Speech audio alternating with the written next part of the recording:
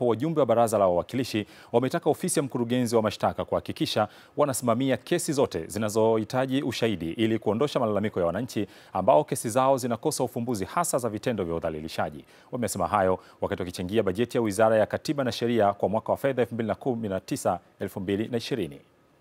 Kwa haki za mahabusu, yani wanafunzi wanapelekwa mahakamani. Mheshimiwa Spika, wanafunzi wale wanapelekwa kwa miguu na pingu. Kwa fungu hicho nitahitaji maelezo. Hii si haki. Wenzetu kupelekwa mahakamani kwa miguu na kesi zao kuchukua muda mrefu, na kesi DPP zinachukua muda mrefu, na ofisi yako DPP katika ushahidi inapwaya pwaya. Kesi zinaendelea, lakini mheshimiwa, uendelezaji wa kesi umekuwa ni mdogo. Kwa nini kesi zetu zinakwama?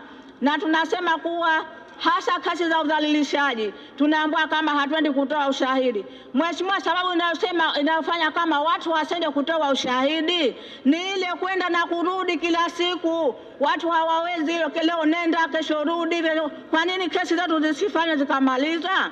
Sasa nini, ita, nini tamko hasa la serikali kutokana na mwenendo wa kesho hiyo, kwa sababu wananchi wengi wamekuwa wakilalamika kuwatazana ya uh, dhamana zinauzwa mahakamani na wenye fedha ndio wanaofaidika, maskini hawafaidiki kwa sababu ya mdorongo huu. Lakini serikali nia njema tu ikasema, hebu tuunde sheria, ikaletwa hapa tukaipitisha, lakini kuna sheria na Jaji Abdul, Ham, uh, Abdul Hakim yeye ndio uh, akaistop aka hii.